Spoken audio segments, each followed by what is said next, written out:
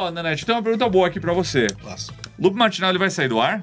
Ah, uma boa pergunta, porque a partir agora dessa semana, segunda-feira que foi ontem, o Marcos Mendes já está falando na- nas edições do, do, do, do Matinal que ele vai deixar de apresentar. Na verdade, nós estamos com reformulações aqui no Loop.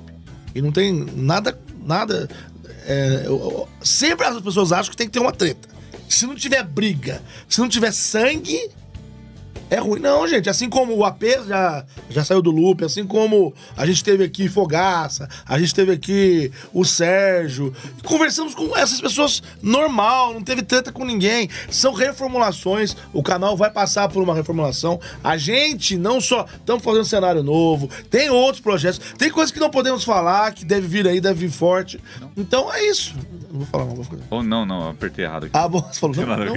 Ele fez um não assim. Não, foi tão sincero, né? Não, não. Não, vou falar não. Então, tipo assim, é isso. A gente já queria mudar um pouquinho o formato do matinal há algum tempo. A gente queria deixar ele mais próximo do formato do Loop Infinito. A gente sempre achou que ele, ele tava se distanciando do nosso formato, entendeu?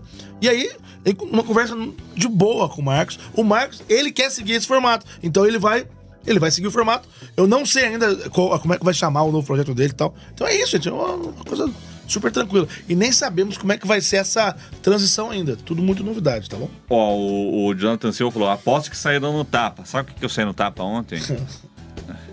Com o André Fogaça.